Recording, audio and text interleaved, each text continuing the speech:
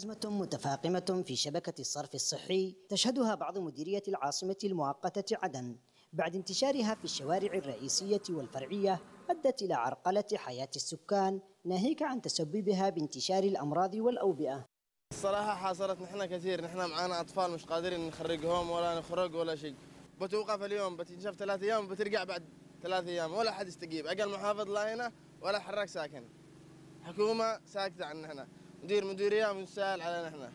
زي ما انت شايف البلاعة للحافة الثاني وللحافة هنا حاصرت نحن من كل مكان.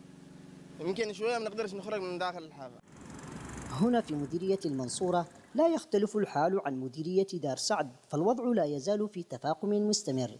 نتيجة انسداد قنوات الصرف الصحي وطفح المجاري أمام المنازل والمحلات التجارية. وهو ما أثار شكاوي المواطنين وتخوفهم من أمراض محتملة خاصة مع انتشار حمى الضنك وعودة وباء الكوليرا إلى المحافظة.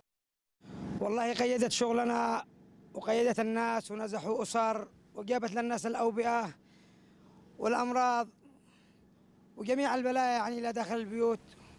وقبل فترة اختلطت مع المياه الصحية المجاري مع المياه الصحية. ما فيش وعي.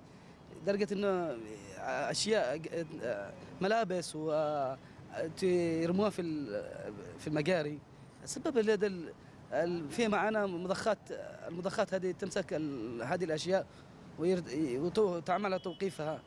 وهذا أول سبب. وفي أسباب أخرى برضه الشبكات ضعيفة جدا. أوكي؟ الشبكات ضعيفة وضغط السكاني كبر. هذا سبب إنه طفح المجاري لا حلول جذرية لهذه الأزمة القديمة المتجددة في ظل عجز الجهات المعنية عن مواجهة المشكلة والحد منها. على الرغم من محاولة مؤسسة المياه والصرف الصحي تنفيذ بعض المعالجات للمشكلة المتكررة في المدينة غير أن هذه المساعي تصطدم دوما بمشاكل ضعف الشبكة العامة وقلة الإمكانيات. أديب الجناني قناة بلقيس عدن.